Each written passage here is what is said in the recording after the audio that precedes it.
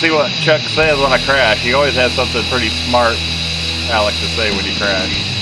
Looks like that's somewhat airfield. Ooh, get some speed now.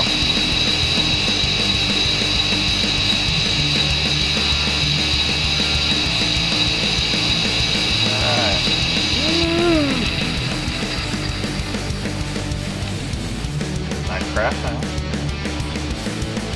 Mortar shot. Hello, welcome back to My Time Tunnel. Today on My Time Tunnel we're going back to 1987 with the little Macintosh SE and we're going to be playing a little Chuck Yeager's um, Advanced Flight Trainer. Alrighty, here we are with Chuck Yeager's Advanced Flight Trainer. It had a name change, of course I mentioned that, and the other part of the game. Here's what you get. Pretty cool. This one still has the found the mailing thing in there. I guess I better register this, right? Very important. uh, and there it is in color. Unfortunately, we're not going to be playing it in color. We'll be playing it in Macintosh SE non-color. Basically one color. well, I guess no colors, right? Black and white. Uh, anyways, this is the Advanced Flight Trainer. Here is the instruction manual. Very in-depth instruction manual. I mean, it really goes in depth. I like this, how it got the original, some of his writing in there. Pretty cool. Very in-depth. It really gets into it.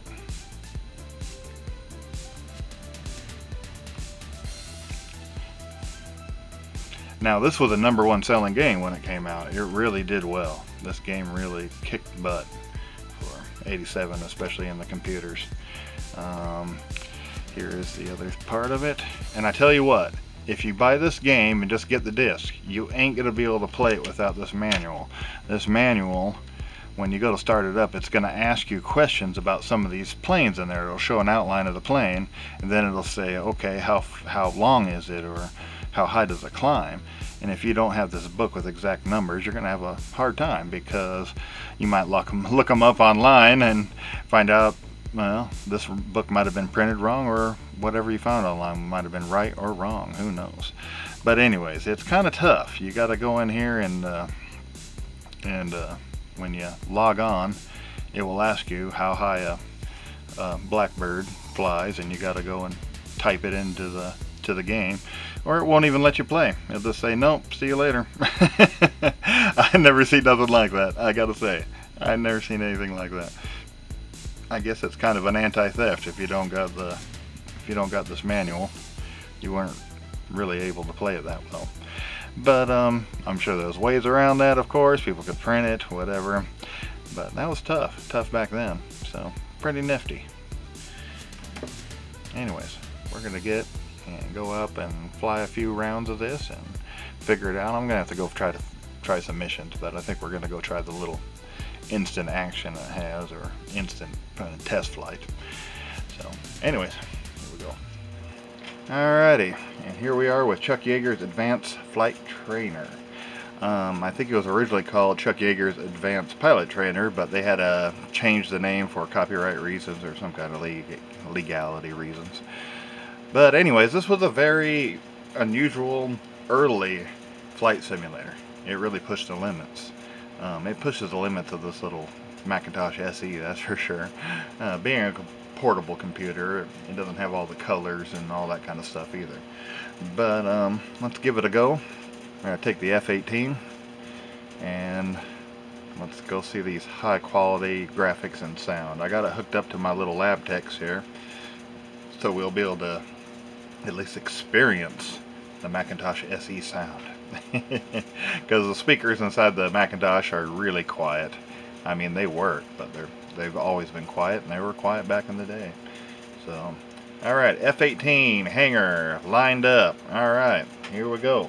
Now I got it hooked up. I think it's for mouse flying right now. Um, I kind of somewhat went over the controls, and at least I know how to get the engine started up. Oh, here we go. Woohoo! Got a marked number. All right. See if I can turn this down just a little. Boy, it's, it's actually rocking. Here we go. Oh, gotta pick the nose in.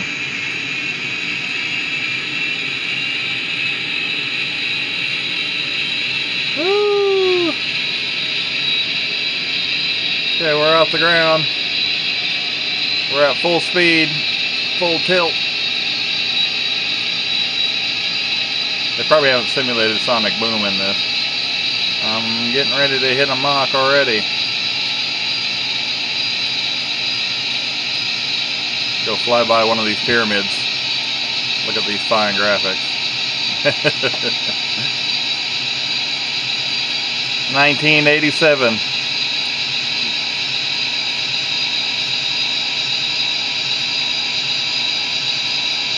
Woo!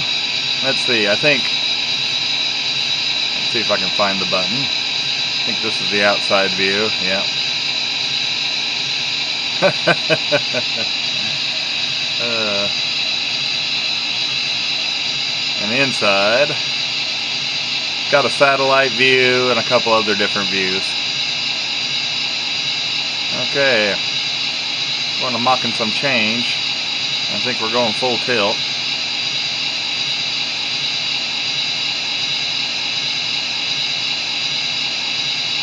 Go do some nice heavy banking. See if we can bleed off some of that speed. No, we're actually gaining a little there. Come on. Oh yeah. Wonder if you can tear a wing off. Probably can if you get her up fast enough. Not sure how in-depth this uh, simulator is. According to the instructions and stuff, it, it was really in-depth, but I have never went out and did any of the missions on it. As kids, we just went out and screwed around and didn't know what we're doing. We're lucky to even find the throttle. This is one of those games you have to have the instructions with it. You have to have the instructions with it just to play it because it asks absurd questions just to just to start, like the how high a certain plane can fly and stuff, or it won't even let you play the game. and then if you type it wrong, of course, it'll just shut you down and make you start over. now let's see what Chuck says when I crash. He always has something pretty smart, Alec, to say when you crash. Looks like that's uh, somewhat airfield. Oof, getting some speed now.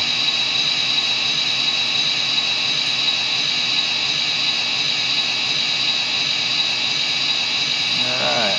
Woo! Nice crash now. Mortar shot, if I've ever seen one. He's always seen something bad.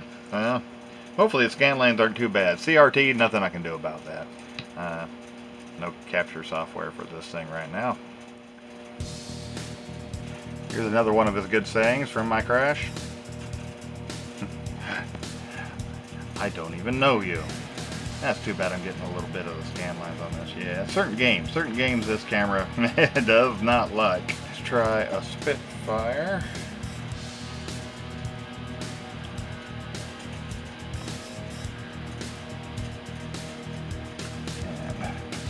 Get the sound up here. Sounds like I'm already cooking, let alone just firing up.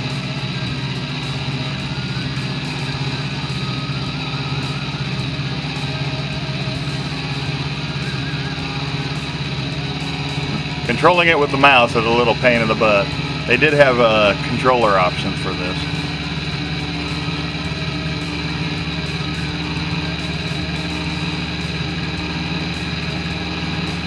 Try to get it up for some speed, maybe a loop to loop. See if we can do that. Spitfire! At least it's saying Spitfire on the down on the cockpit, huh?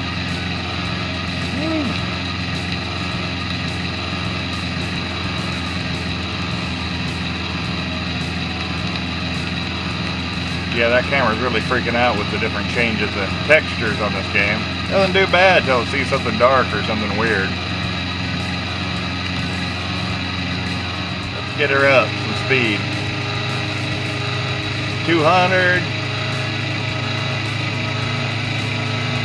300. Woo! Now see if we can loop-de-loop it.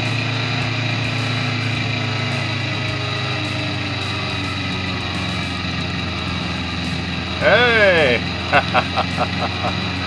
I got a loop-de-loop out of it.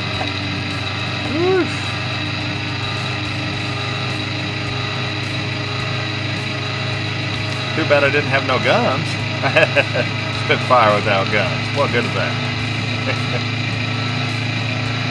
yeah, let's go crash it and see what old Chuck will tell me about that crash.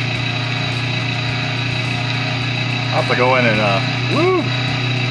Have to slow her down. Get a little less throttle there. Or should I see if I can tear off the wings? 350. Gonna be hitting the 400 mark here in a second.